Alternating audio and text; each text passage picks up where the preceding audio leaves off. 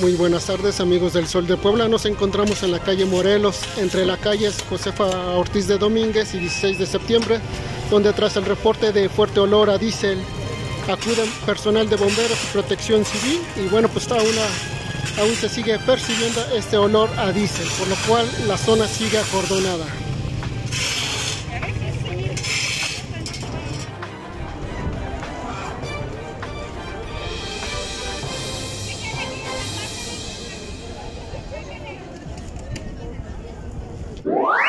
Comenta y comparte en tus redes sociales.